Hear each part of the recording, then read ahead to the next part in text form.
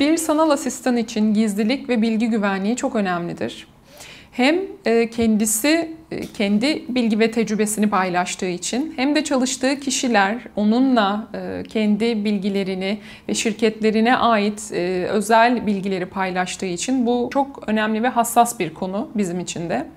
Bu anlamda güvenli bir çalışma ortamı oluşturmak adına bir sanal asistanın mutlaka yapması gereken bir gizlilik ve bilgi güvenliği anlaşmasıdır.